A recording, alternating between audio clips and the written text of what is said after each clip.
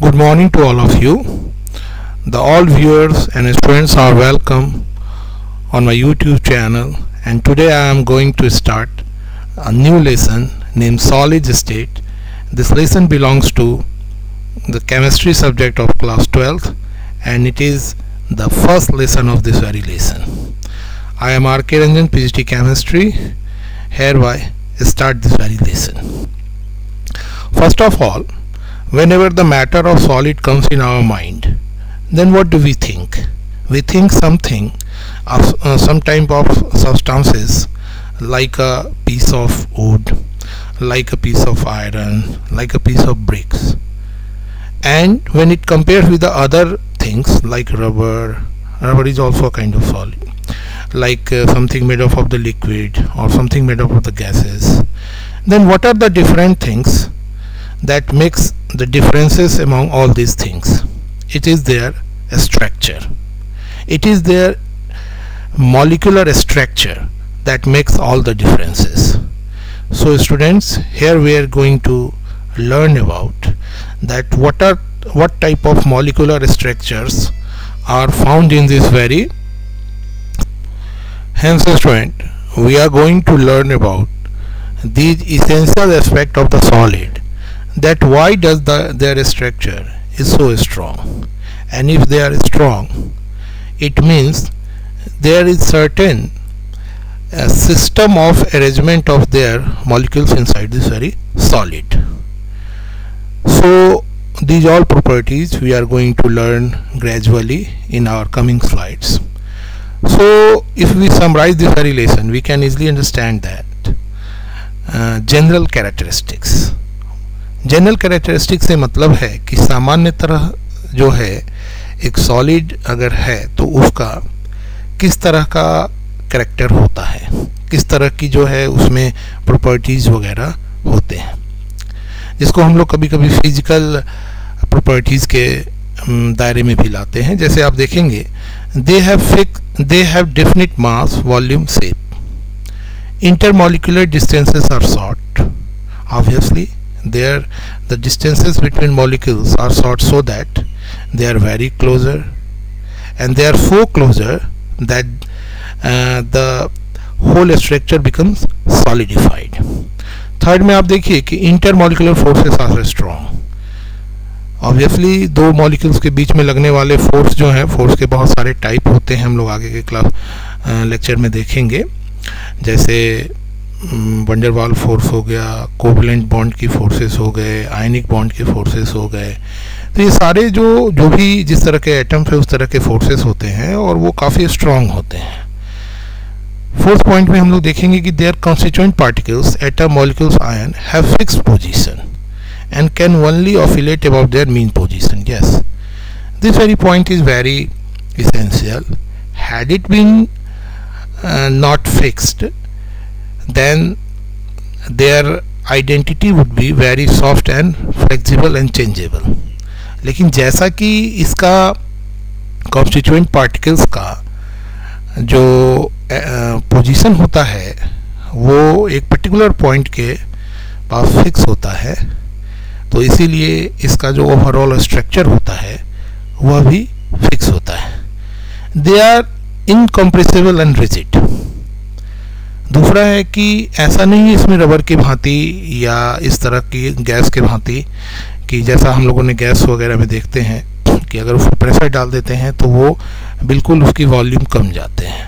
नहीं, सॉलिड अगर solidify material हो गया है तो उसका जो वॉल्यूम होगा, वो वॉल्यूम एक प्रकार से फिक्स रहेगा। Yes malleable ductility is something different that is the associated property of the metal और इसीलिए इसका सेप भी जो है, वो रिजिट होता है। और हम लोग अपने एक्सपीरियंस से देख सकते हैं कि सॉलिड का सेप जो है, वो एक प्रकार से फिक्स होता है। सेकेंड में हम लोग देखेंगे एक बहुत ही इंपॉर्टेंट एस्पेक्ट क्योंकि आप लोग क्लास ट्वेल्थ के स्टूडेंट्स हैं तो यहाँ आपके लिए ये जानना बहुत ज़रूरी हो जाता है कि क्या वो हर एक चीज़ जिनमें ये जनरल कैरेक्टरिस्टिक्स के गुण पाए जाते हैं, क्या वो सॉलिड होते हैं? क्या सॉलिड का एक ही टाइप होता है? तब आप लोगों को हायर क्लासेस में आपके लेवल्स पे ये बताया जा रहा है कि जो है सॉलिड्स जो है इसको अगर हम लोग डिफ्रेंशिएट करना चाहें तो उसके आधार पर हम लोग इसको दो भागों में डिफ्रेंशिएट कर सकते हैं। एक एमॉर्फस और दूसरा क्रिस्टलाइन एमॉर्फस एमॉर्फस एक प्रकार का लैटिन वर्ड है. एमॉर्फस का मतलब होता है नो फॉर्म जिसका अपना कोई सेप नहीं होता है. और इसके अंदर जो सेप है, उसके, उसमें जो पार्टिकल्स हैं, उनका कोई एक फिक्स पैटर्न नहीं होता है. मैं ये कहना चाहूँगा. मीन्स एमॉर्फस जो हमारा सॉलिड है एमॉर्फस सॉलिड में आप कह सकते हैं कि it consist of particles of irregular shape इसमें पार्टिकल्स के जो शेप होते हैं, वो इरेगुलर होते हैं। और वहीं क्रिस्टलाइन सॉलिड में जो है डिफिनिट कैरेक्टरिस्टिक ज्योमेट्रिकल शेप होता है। इनमें एटम्स मॉलिक्यूल्स के जो शेप होते हैं, वो एक पर्टिकुलर पैटर्न के आधार पर उसमें बिल्कुल अरेंज होते हैं। ये तो रही शेप की बात। अब आया मेल्टिंग पॉइंट क्रिस्टलाइन सॉलिड जो है melt at a sharp and characteristic temperature इनकी जो मेल्टिंग पॉइंट्स होता है, वो काफ़ी शार्प होता है। एक पर्टिकुलर टेम्परेचर को अटेंड करने के बाद ही ये जो है मेल्ट होते हैं। उसी जगह आप देखेंगे कि इमोर्फस सॉलिड जो है, वो एक तो अपने इरेगुलर शेप के कारण एक पर्टिकुलर फोर्स से ये नहीं उतना बंधे रहते हैं, जिसके कारण ये ग्रेजुअली सॉफ्टन भी होते हैं मतलब सॉफ्ट नेचर के होते हैं और जिस तरह के टेम्परेचर्स अलग अलग टेम्परेचर से इनका नेचर भी अलग अलग होता जाता है। क्लीवेज प्रॉपर्टी क्लीवेज का मतलब होता है टूटना। तो अब मान लीजिए क्रिस्टलाइन सॉलिड है और एमोर्फस सॉलिड है, दोनों को अगर आप ब्रेक करते हैं या दोनों को कट करते हैं, कट करके देखते हैं तो उसमें किस तरह से शेप आता है। तो आप देखेंगे कि when cut with a sharp edge tool crystalline solid को अगर आप शार्प एज टूल से कट करेंगे they split into two pieces and newly generated surface are plain and smooth ये क्रिस्टलाइन सॉलिड का एक बहुत बड़ी प्रॉपर्टी है। अब जैसे मान लीजिए हम लोग नमक लेते हैं तो नमक का अगर आप देखिए, एक नमक का पूरा ढेला ले लेते हैं, मैं नॉर्मल लैंग्वेज में बताता हूँ। तो देखिएगा कि जब आप उसको तोड़ेंगे, अगर उसके क्रिस्टल को तो जो टूट के नया क्रिस्टल होगा, उसका आप शेप देखिए तो बिल्कुल चमकदार और क्लियर होगा। दूसरा है आप उसी जगह देखिए कि अगर एमोर्फस लेते हैं when cut into far page tool they cut into pieces with irregular surface इसके हर टुकड़े का सेप जो होगा अगर टूटने पे, आप अलग अलग पाएँगे। क्योंकि एमोर्फर्स में इनका, इनके क्रिस्टल इनका जो एटॉमिक सेप होता है, वही रेगुलर नहीं होता है। इसी के कारण से इसमें ये समस्या आ जाती है।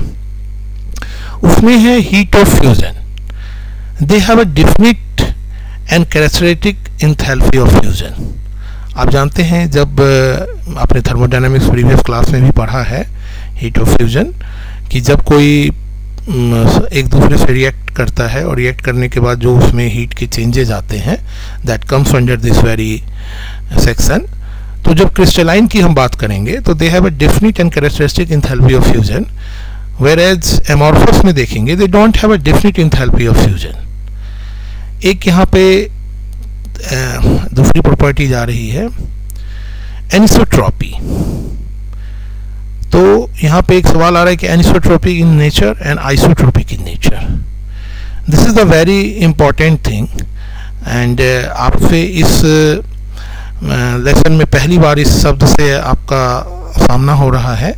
पहली बार आप देखेंगे कि ये एनिसोट्रोपिक नेचर क्या होता है और ये आइसोट्रोपिक नेचर क्या होता है। मैं आपको बताना चाहूँगा कि क्रिस्टलाइन सॉलिड में जो उनकी बहुत सारी उनकी जो फ़िज़िकल प्रॉपर्टी होती है like electrical resistance and refractive index ध्यान से ज़रा सुनिएगा। एक हो गया इलेक्ट्रिकल रेसिस्टेंस और रिफ्रैक्टिव इंडेक्स जब क्रिस्टलाइन सॉलिड है, उसमें ये दोनों फ़िज़िकल प्रॉपर्टीज़ जो हैं इलेक्ट्रिकल रेसिस्टेंस और या रिफ्रैक्टिव इंडेक्स जो है, वो क्रिस्टल के अलग अलग लॉन्गिट्यूड और लेटीट्यूड के हिसाब से अलग अलग होते हैं।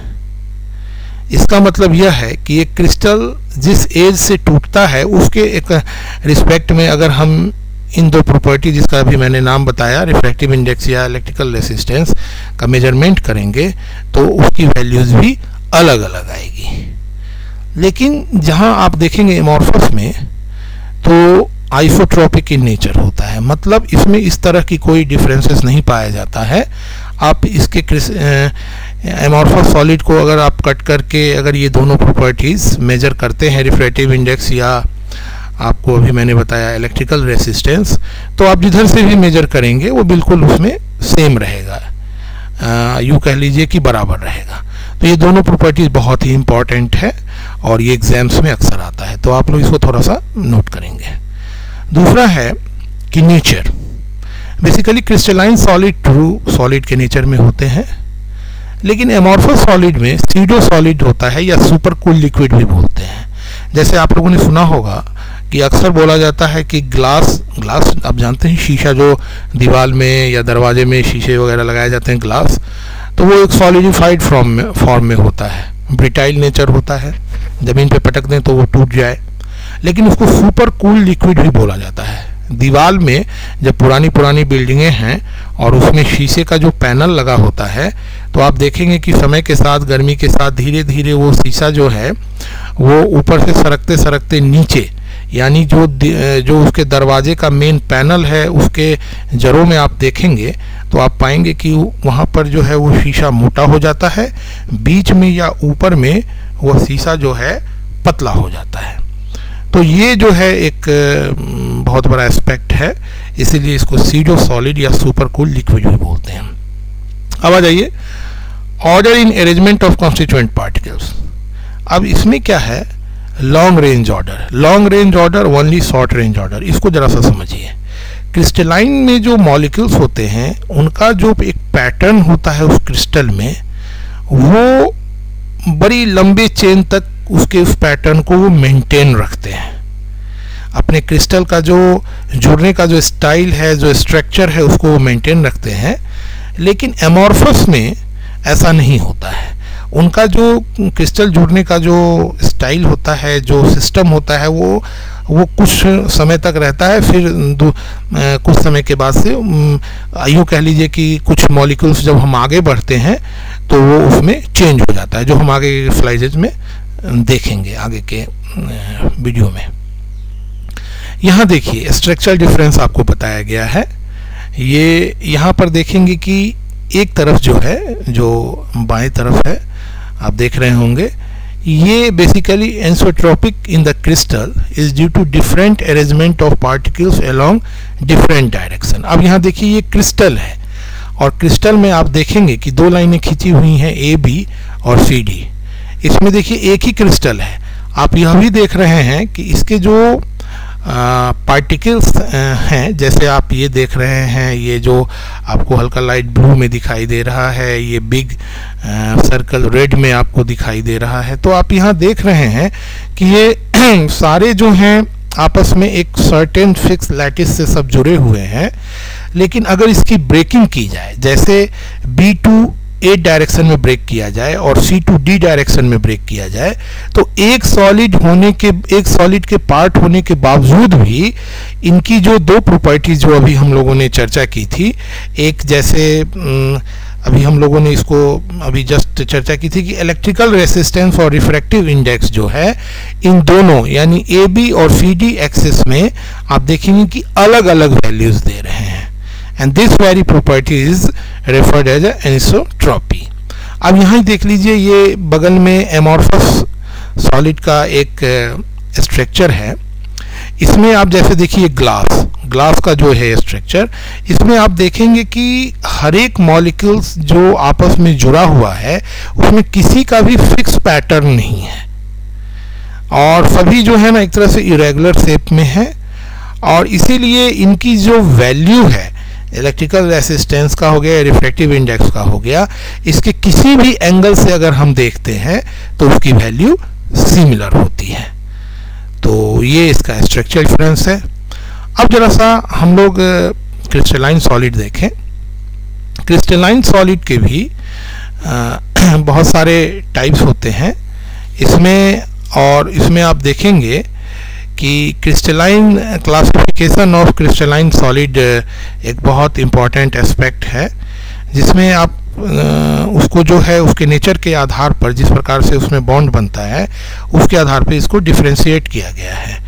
तो here you can easily see that the crystalline solids is differentiated amongst major four category. First is the molecular solid, which is also known as crystal. Ionic solid or also known as ionic crystal metallic solid also known as the network or uh, crystal covalent or network solid. Yes network solid is referred as a covalent solid whereas a metallic uh, solid is referred as a metallic crystal. Here we will see that the molecular crystal. Molecular crystal is once again differentiated into three parts first is non-molar non-polar molecular solid, polar molecular solid and hydrogen bond. We will learn its property in the next slide also.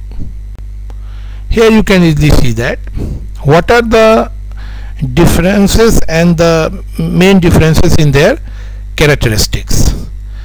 First we have taken it as a molecular solid. In this very molecular solid you can see that it is broadly differentiated between three segments that first is the non-polar second is the polar and the third is the hydrogen bonded students uh, the main characteristics of the solid is depend upon the type of bond they form and type of crystal they made in they make into inside the solid. So first in the first section you can see that if solid is non-polar then what what type of its nature is? First its nature is soft insulator of electricity. Okay you cannot uh, uh, pass the el electricity through this very material low melting point intermolecular forces depression or London forces इसके बीच में जो intermolecular force लगता है वो एक प्रकार का वीक फोर्स ही रहता है तो ये डिस्पर्सन और लंदन फोर्सेस बोलते हैं। इसके एग्जांपल आप देख सकते हैं, जैसे आर्गन हो गया सी सी एल फोर हो गया एस टू हो गया, या कार्बन डाइऑक्साइड हो गया। पोलर में देखें, इसका भी नेचर सॉफ्ट होता है, इंसुलेटर ऑफ़ इलेक्ट्रिसिटी होती है इसमें, लो मेल्टिंग पॉइंट होता है, इंटरमोलिकुलर फोर्सेस जो होता है इसमें, डाइपोल डाइपोल इंटरेक्शन होता है, जैसे S C L S O two. आप देखेंगे कि ये एक प्रकार का फोर्स जनरेट करता है पोलर मॉलिक्यूल है। इसमें एक जो मॉलिक्यूल है तो इसमें एक एटम ज़्यादा जो है इलेक्ट्रॉन ड्राइंग कैपेसिटी वाला होगा और दूसरा कम वाला होगा। इसमें, इससे क्या होता है, इसके ऊपर में एक पोलरिटी भी डेवलप करती है। थर्ड टाइप्स देखिए हाइड्रोजन बॉन्डेड जैसे ये इसका नेचर हार्ड होता है। और हार्ड होने के बाद आप देखेंगे कि इंसुलेटर ऑफ़ इलेक्ट्रिसिटी होती है। मीन्स फ्री इलेक्ट्रॉन्स नहीं होते होंगे इसमें, आपस में, क्योंकि इंसुलेटर ऑफ़ इलेक्ट्रिसिटी है। लो मेल्टिंग पॉइंट होगा। इंटरमोलिकुलर फोर्सेस जो है ना हाइड्रोजन बॉन्डिंग की होती है। तो आप इसमें देखेंगे, जैसे एस टू आइस वगैरह, इसके एग्ज़ाम्पल में आता है। अब हम थोड़ा ब्रॉडली देखेंगे एज पर एन सिलेबस के हिसाब से, कि क्या बताया जाता है और इसके अंदर क्या है। एक बहुत ही ब्रीफ ढंग से इसको एक्सप्लेन किया गया है। आप देखें यहाँ टाइप ऑफ़ सॉलिड है, जैसे molecular solid ionic solid metallic solid और कोवेलेंट सॉलिड मॉलिकुलर सॉलिड के अंदर में non polar polar hydrogen bonded हैं. इनके कॉन्स्टिट्यूएंट्स पार्टिकल जो हैं, जैसे मॉलिकुलर सॉलिड के ऑब्वियसली है मॉलिक्यूल होगा.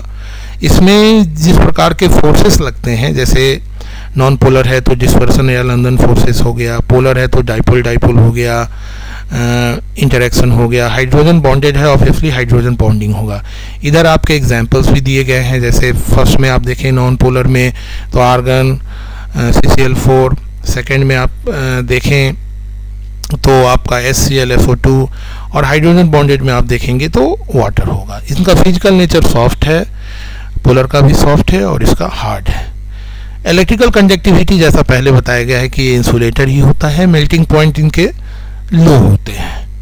अब आ जाइए हमारा दूसरा जो है, वो दूसरा जो है हमारा, वो आयनिक सॉलिड है।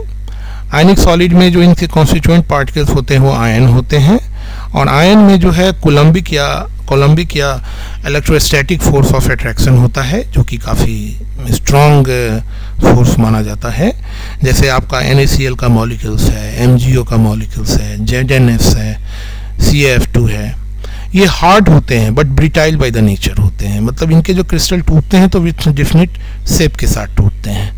Insulated in solid state but conductor in the molten state in aqua solution इसकी खूबी होती है कि चूँकि ये जब सॉलिड होते हैं, इनके स्ट्रक्चर फिक्स होते हैं तो इलेक्ट्रॉन का मूवमेंट मुश्किल है। लेकिन जैसे ही ये वाटर वगैरह में या इलेक्ट्रोलाइट्स में डिजॉल्व हो जाते हैं तो आयनिक कंडक्टेंस शुरू हो जाता है। और इनके मेल्टिंग पॉइंट भी हाई होते हैं। आपको पहले भी हमने एक आध क्लासेस में बताया था पीछे कि जैसे नमक है एन तो आप यूँ देखते होंगे कि नमक घुल तो पानी में जाता है, लेकिन जब इसको पिघलाने की बात आती है तो इसको बहुत हाई टेम्परेचर पे जाके ये पिघलता है। अब आ जाइए नीचे मेटालिक सॉलिड इसमें है कि पॉजिटिव आयन इन अ सी देखिए यहाँ पे positive ions in a sea of delocalize electrons इसको जरा सा समझिएगा कि इसमें सारे पॉजिटिव मेटेलिक्स मेटल्स में आयन होते हैं और इलेक्ट्रॉन्स जो होते हैं बेसिकली डिस्ट्रीब्यूटेड होते हैं। इसके आपस में मेटालिक बॉन्डिंग भी होता है। जैसे आप कॉपर देख लीजिए आयरन देख लीजिए सिल्वर हो गया मैग्नीशियम हो गया hard but malleable and ductile yes, it is hard. It has a definite shape, but it could be malleable और ductile as well उसके बाद अब हम लोग इनकी जो है इलेक्ट्रिक कंडक्टिविटी देखेंगे तो उसमें हम लोग पाते हैं कि जो मेटालिक सॉलिड है, उनका नेचर जो है कंडक्टर होता है, वो उनमें कंडक्टिंग कैपेसिटी होती है, उनके जो आयन होते हैं वो पोटेंशियल डिफरेंस अप्लाई करने पर इलेक्ट्रॉन्स अपने चार्जेस को मूव करवाते हैं। तो conductor in solid state as well as in molten state और इनकी मेल्टिंग पॉइंट जो है फेयरली हाई होती है। आप आयरन का ही देख लीजिए हाई टेम्परेचर रहता है। हाई टेम्परेचर पे जाके मेल्ट होता है। अब आ जाइए, सबसे आखिरी में कोवेलेंट और नेटवर्क सॉलिड ऑब्वियसली एटम्स आपस में शेयरिंग करके कोवेलेंट आपने एलेवेंथ में पढ़ा होगा कि जो कोवेलेंट कंपाउंड्स होते हैं, उसमें एटम्स आपस में इलेक्ट्रॉन की शेयरिंग करते हैं। तो बॉन्डिंग ऑब्वियसली कोवेलेंट बॉन्डिंग कहलाएगा। जैसे आप देख लीजिए एस जिसको क्वार्ज भी बोलते हैं। सिलिकन कार्बाइड कार्बन डायमंड ये सारे एग्जाम्पल्स हैं। इनका फ़िज़िकल नेचर जो होता है, वो कुछ का तो हार्ड होता है और कुछ सॉफ्ट भी होते हैं। जैसे आप हम लोग ग्रेफाइट वगैरह लेते हैं तो सॉफ्ट है कार्बन ग्रीन डायमंड ले लिए तो due to its structure is a very hard और ये बेसिकली इंसुलेटर के फॉर्म में होते हैं। और जैसे ग्रेफाइट का एग्जांपल लेते हैं तो वो कंडक्टर भी होता है क्योंकि उसमें एक इलेक्ट्रॉन फ्री होता है जो चार्जेस को मूव करवाता है। और इनके मेल्टिंग पॉइंट भी बहुत हाई होते हैं। आप लोगों ने एलेवेंथ में देखा भी होगा, मेरे लेक्चर में देखा होगा आपने कि मैंने बताया था कि ग्रेफाइट जो है, ये इलेक्ट्रिक का कंडक्टर होता है। क्यों? And white diamond is inert in terms of the conducting of electricity